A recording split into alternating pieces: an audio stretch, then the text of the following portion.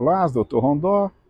É, estamos vivendo uma crise alimentar como nunca ocorreu. Para você ter uma ideia, de 1930 para cá, aumentou 700% a incidência de doenças degenerativas, é, doenças crônicas, e naquela época não chegava a 7%.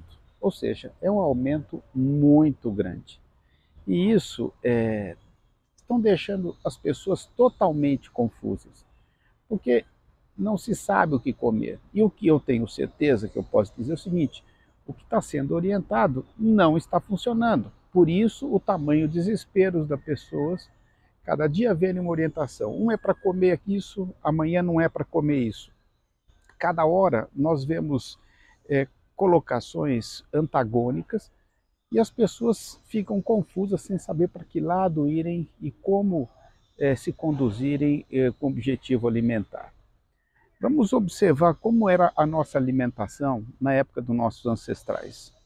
Eles comiam proteína, comiam é, em grande quantidade e comiam o animal inteiro, da cabeça até o rabo, tudo. Né? Hoje em dia, nós comemos o quê?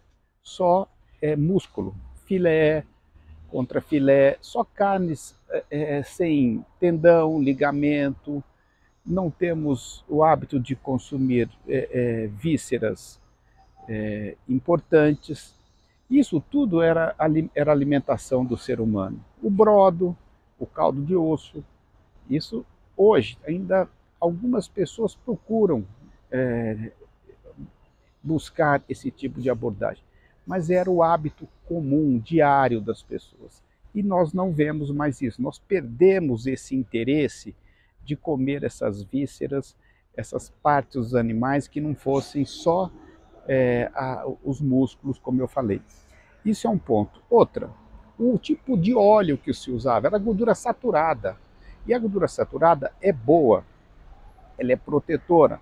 Nesse período, nós tivemos informações é, mal interpretadas que mostravam que esses óleos não eram saudáveis. E não é verdade.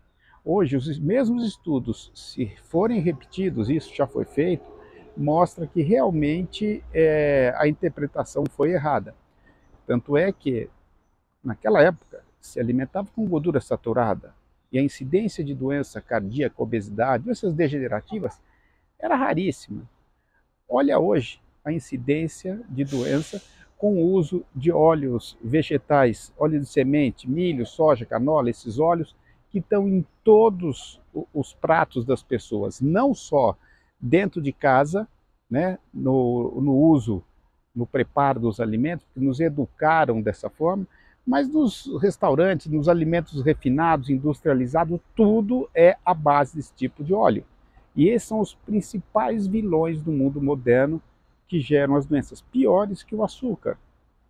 Há 100 anos atrás se consumia açúcar, mas eram em sobremesas caseiras. Hoje se consome açúcar em tudo quanto é produto. Gordura é, é, saturada é, ficou esquecida. Há uma certa procura, já como vocês percebem, uma, uns falam bem, outros mal, e isso deixa as pessoas confusas. Você pega o leite. Antigamente, o leite era da vaca, o leite puro, não tinha conservante. Hoje, esse leite dura um mês em caixinha. Esse leite é cheio de, de, de produtos é, é, de conservantes que são desfavoráveis. Nós temos também o fato de se estar consumindo, é, consumindo muito laticínio, cuja é, preparo, cuja é, manipulação do produto é tirar as gorduras, porque as pessoas fogem das gorduras e quanto mais se foge das gorduras, mais predispõe doença. Então, esse leite sem gordura, ele causa obesidade, causa diabetes, causa doença cardiovascular e vai por aí fora. Os alimentos não tinham defensivo agrícola como tem hoje. E isso interfere diretamente, altera os hormônios, altera é, como o fígado absorve certos, certos nutrientes, filtra certos nutrientes permitindo a absorção de certas vitaminas, como é o caso da vitamina D. Se não há uma, um processo correto de metabolização é, independente desses componentes, o que, que acontece? A absorção da vitamina D é mais é, é, fácil, mais positiva. Então, tudo isso nós temos que refletir e mudar conceitos. E se você quiser saber mais sobre esse assunto, detalhes de cada um, entra no meu site drrondó.com e você vai encontrar tudo sobre isso. Se você gostou desse vídeo, clique aqui. Se quiser receber novos vídeos, clique aqui. Deixa um abraço, super saúde e dias melhores.